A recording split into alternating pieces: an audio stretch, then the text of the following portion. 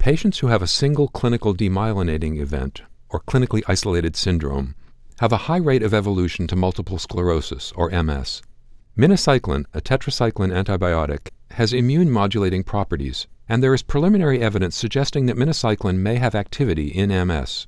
In a double blind trial, investigators enrolled adults in Canada who had had a clinically isolated demyelinating event, such as optic neuritis brainstem, cerebral, cerebellar, or myelopathy syndrome within the previous six months, and at least two lesions on brain MRI consistent with demyelination.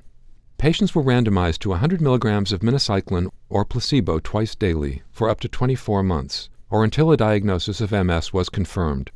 The primary endpoint was conversion to MS within six months, as defined by the 2005 McDonald criteria, which were in use at the inception of the study. 142 patients were included in the intention to treat analysis.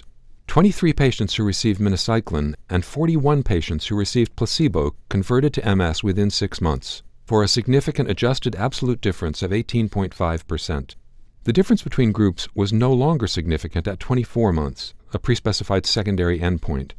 MRI endpoints, including mean change in lesion volume and mean cumulative number of new enhancing lesions, significantly favored minocycline treated participants at month 6, both before and after adjustment. But at month 24, only the unadjusted MRI results were significantly better.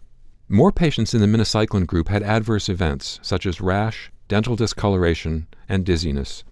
The investigators conclude that minocycline may delay the onset of MS, since it significantly reduced conversion from clinically isolated syndrome to MS at six months, but the difference did not persist at 24 months. Full trial results are available at nejm.org.